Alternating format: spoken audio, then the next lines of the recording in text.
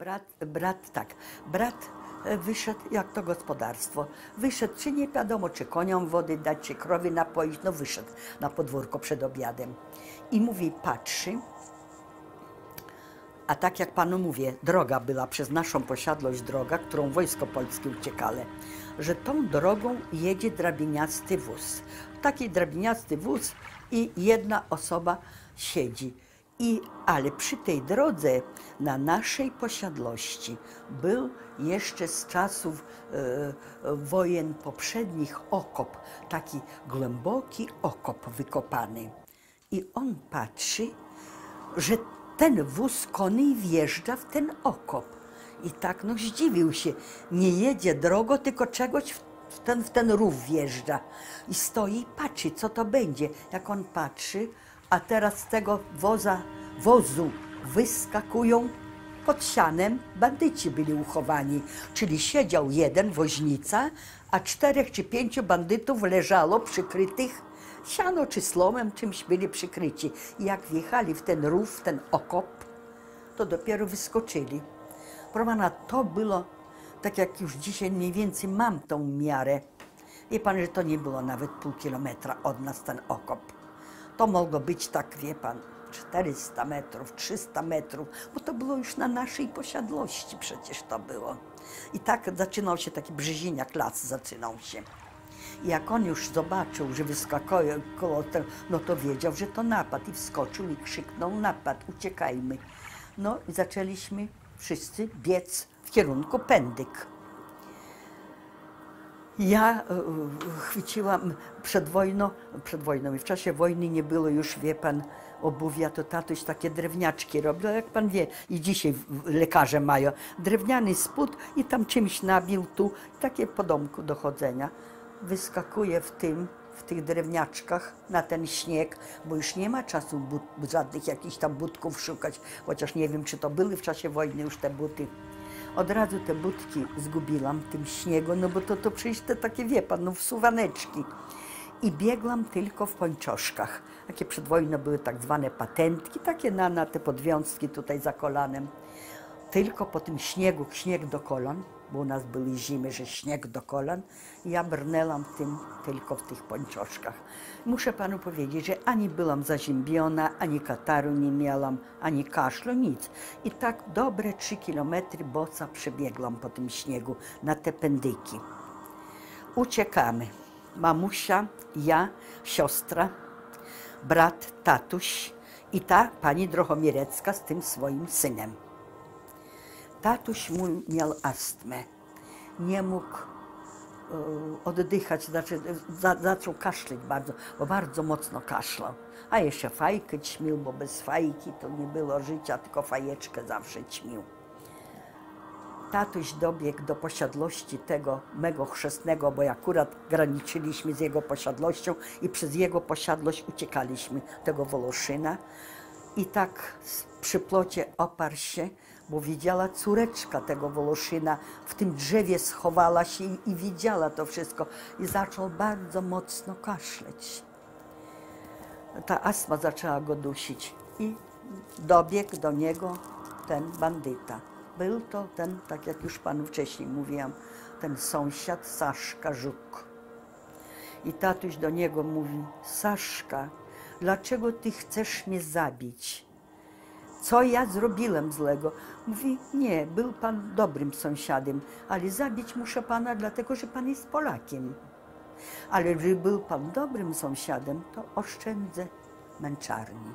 Oszczędzę męczarni.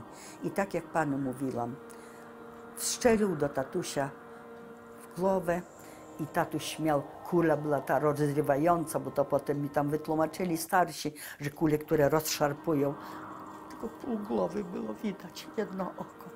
I jak przyszłam potem na drugi dzień, to tatuś na wznak leżał tak przy tym plocie, ręce rozwrócone, taki kożuszek miał ubrany na sobie. A my uciekamy, biegniemy wszyscy w kierunku tamtych pędyk.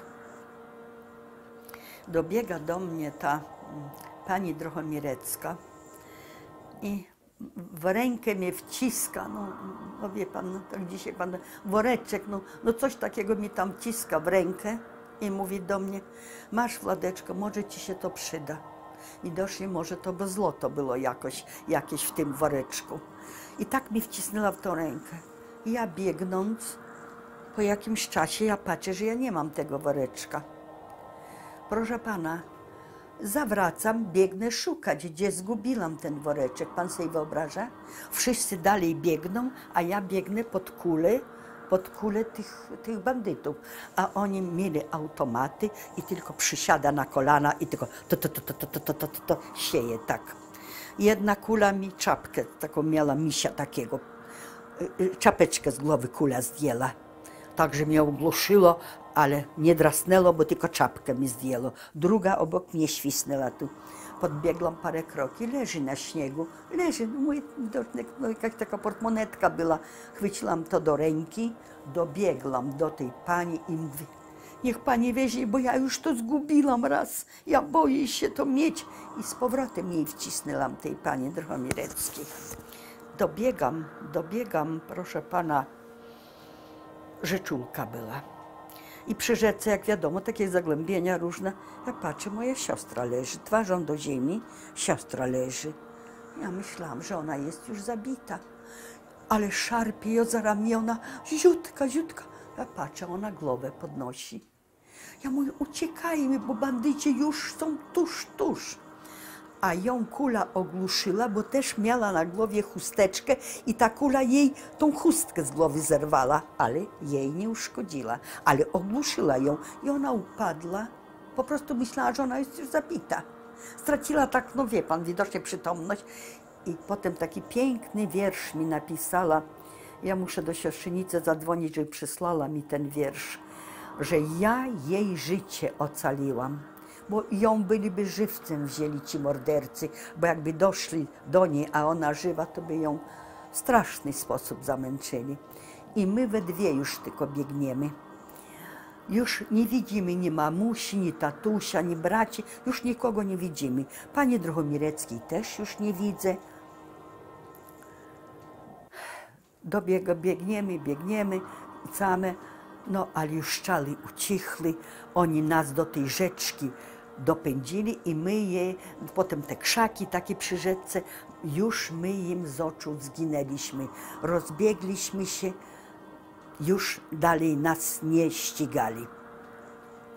Przybiegliśmy na, na, tą, na te pędyki.